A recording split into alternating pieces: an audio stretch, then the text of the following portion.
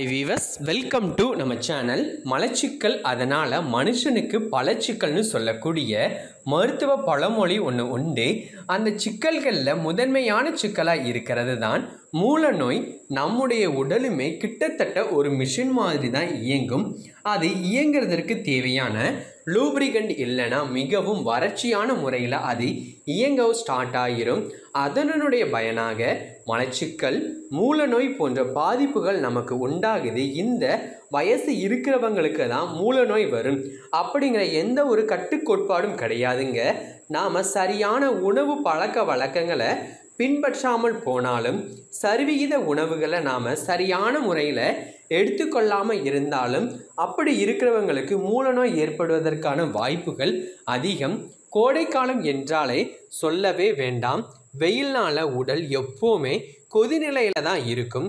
அதனால் உடல் வந்து உணவை செரிமானம் செய்கிறதுக்கு அதிகமான நேரத்தை எடுத்துக்கணும்.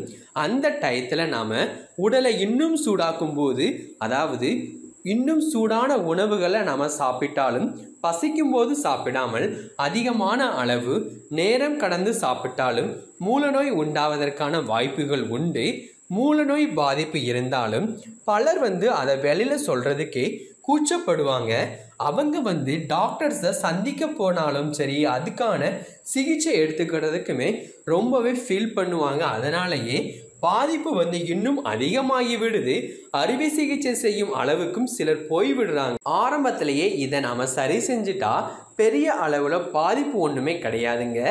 ஆசன வாயில் உள்ள இரத்த குழாய்களில் வீக்கம் ஏற்பட்டு அதனுள்ளே இருக்கும் இரத்த நாளங்களினுடைய சுவர் வந்து மெல்லிசாகி மலம் கழிக்கும் போது இரத்த நாளங்கள் கிழிஞ்சு இரத்தம் வெளியேறக்கூடிய ஒரு நிகழ்வை தான் நாம் பைல்ஸ் அதாவது மூலம்னு சொல்கிறோம் வலி இல்லாமல் ரத்தம் மட்டுமே வெளியேறிச்சுன்னா அது வந்து ஸ்டேஜ் ஒன்றில் இருக்கிறோம்னு அர்த்தம். மலம் கழிக்கும்போது இரத்தத்தோட சதையும் வெளியே வந்து மலம் கழிச்சதுக்கு அப்புறமா ஆசனவாய்க்குள்ள சதை வந்து தானாக சென்று விடுவது வந்து ரெண்டாவது ஸ்டேஜ் ரத்தத்தோட சதை வந்து மலம் கழித்து முடிச்சதுக்கு அப்புறமா சதை வந்து தானாக உள்ளே செல்லாமல் அழுத்தம் கொடுத்து உள்ளே போச்சுன்னா அது வந்து தேர்ட் ஸ்டேஜ் அதுக்கப்புறமா நாம் வந்து எவ்வளவு தான் அழுத்தம் கொடுத்தாலும் சதை வந்து உள்ளே போகாமல் ரத்தத்தோட வெளியவே வந்து நின்றுச்சுன்னா அதுதான் கடைசி ஸ்டேஜுங்க இந்த கடைசி நிலைமைக்கு வந்துட்டால் கண்டிப்பான முறையில் நாம்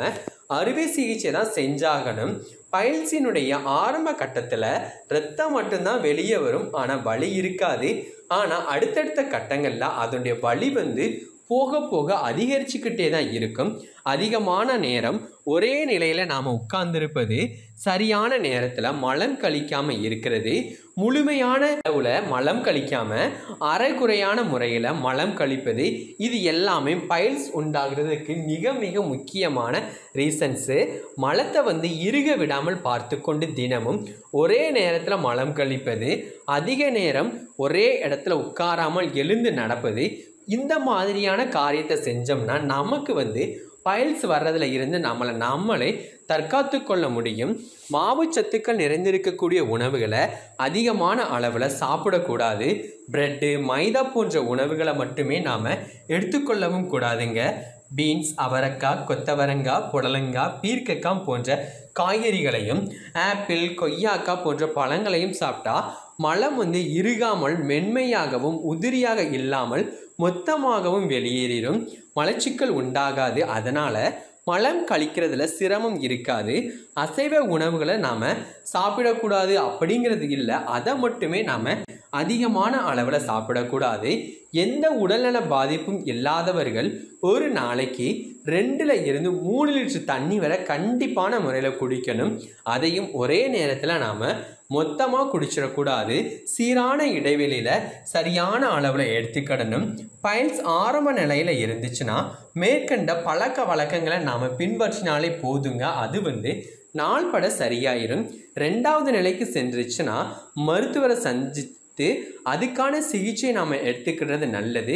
அதையும் தாண்டி தேர்டு ஸ்டேஜ் ஃபோர்த்து ஸ்டேஜ் போயிடுச்சுன்னா நம்முடைய நிலைமை வந்து இன்னும் ரொம்ப மோசம்னு நீங்களே ப்ரூஃப் பண்ணிடலாம் இப்படிப்பட்ட மூலநோயை வந்து நாம் சரி பண்ணுறதுக்கான அதாவது ஸ்டேஜ் ஒன்லேயே அதை க்ளோஸ் பண்ணுறதுக்கான சிம்பிள் ஹோம் ரெமெடி பற்றி தான் இன்றைக்கி நம்ம பார்க்க போகிறோம் ஸோ அதுக்கு முன்னாடி இப்போ தான் நீங்கள் ஃபஸ்ட் டைமாக நம்ம சேனலை பார்க்குறீங்கன்னா மறக்காமல் கீழே இருக்கக்கூடிய ரெட் கலர் சப்ஸ்கிரைப் பட்டனையும் அது கூடவே இருக்கிற பெல் ஐக்கானையும் எனேபிள் பண்ணுறதால நம்ம சேனலில் போடக்கூடிய லேட்டஸ்டான வீடியோஸ் எல்லாமே உடனுக்குடனே உங்களுக்கு நோட்டிஃபிகேஷனில் வந்துடும் அந்த வகையில் இன்றைக்கி வந்து நாம் பார்க்க போகிறது வந்து மூக்குத்தி பூண்டு செடிங்க. இதை வந்து தாத்தா செடி கிணத்தடி பாய்ச்சா இந்த மாதிரினா பேர் சொல்லுவாங்க.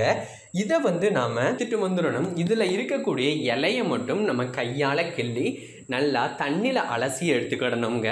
அதுக்கப்புறமா இந்த தாத்தா செடி இலையை வந்து நல்லா உரல்ல போட்டோம் அப்படி இல்லைன்னா மிக்ஸி ஜாரில் போட்டு அதை வந்து ஒன்று ரெண்டாக அரைச்சி எடுத்துக்கிட்டு அது கூடவே ஒரு அஞ்சு இல்லைன்னா ஆறு மிளகு. இது ரெண்டையும் சேர்த்து இன்னொரு வாட்டை வந்து நம்ம நல்லா மை போல் அரைக்கணுங்க. இதை வந்து நம்ம காலையில் வெறும் வயிற்றில் சாப்பிட்டுட்டு வந்தோம்னா நம்ம உடம்புல இருக்கக்கூடிய இரத்த நாளங்களினுடைய சுவர் வந்து தடிமனாகிறது மட்டும் இல்லாமல் நம்மளுடைய பாடி ஹீட் வந்து முக்கியமாக குறைஞ்சி மலம் வந்து சரியான விதத்தில் வெளியேற்றி விட்டுறது அதுக்கப்புறமா மூலம்னு சொன்னாலே எல்லாத்துக்குமே ஞாபகம் வரக்கூடியது வந்து துத்தி செடி தாங்க துத்தி செடிக்கு மிஞ்சின வைத்தியம் வந்து மூல நோய்க்கு கிடையவே கிடையாது.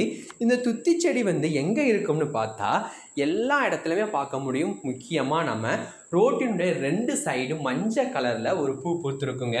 அதான் துத்தி செடி நானும் வீடியோவில் காட்டியிருக்கிறேன். நீங்கள் இது வரைக்கும் துத்திச்செடியை பார்க்கலன்னா நீங்கள் கட்டாயமாக இதை பார்த்துக்கோங்க. இந்த துத்திச்செடியினுடைய இலையை பறித்து அதை வந்து உங்களுக்கு பிடிச்ச மாதிரி நீங்கள் எப்படினாலும் செஞ்சு சாப்பிட்லாங்க. அதாவது கீரையை வச்சு நீங்கள் கடைஞ்சி சாப்பிட்லாம் இல்லை மசியலாக வச்சு சாப்பிடலாம் இல்லைனா இதை வந்து நீங்கள் குழம்புல போட்டு கூட சாப்பிட்லாங்க.